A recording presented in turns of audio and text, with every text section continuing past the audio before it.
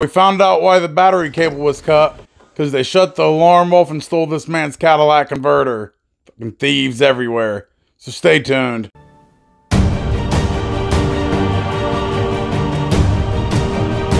Welcome back to Semper Fi Mechanic. My name's Thomas. Today's video is showing you how to use the battery splice connectors.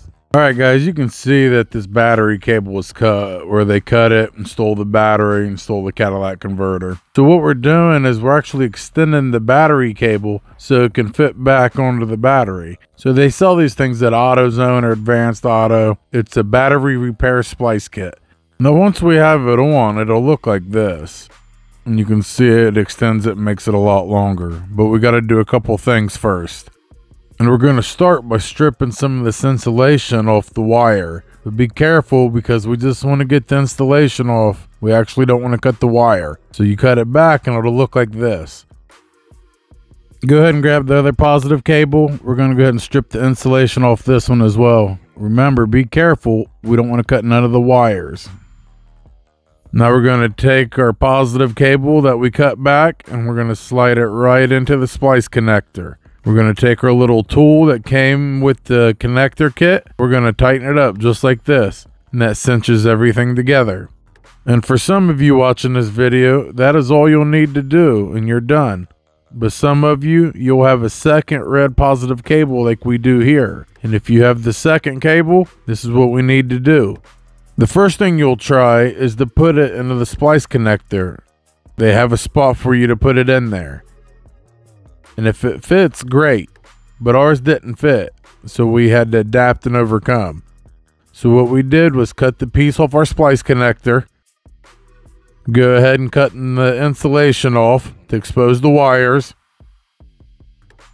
About a half inch back like we did with the other ones.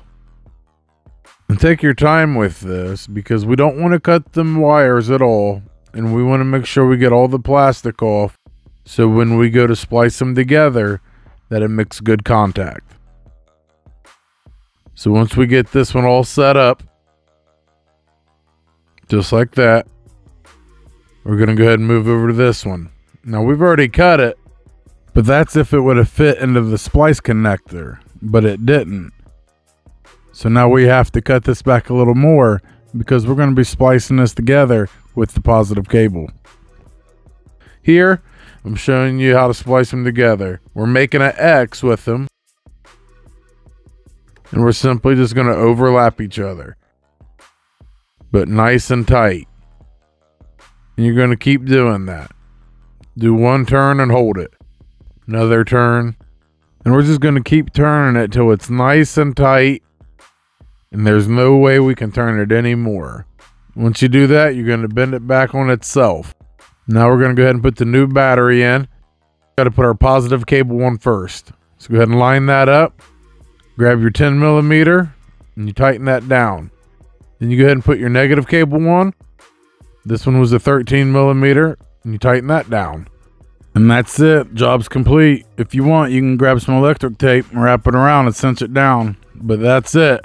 But I want to show you something else. Someone broke in this man's car and stole his Cadillac converter, and it's happening every day to a lot of people. So keep an eye out on your vehicles, guys, because it only takes about 30 seconds to cut one of these Cadillac converters off.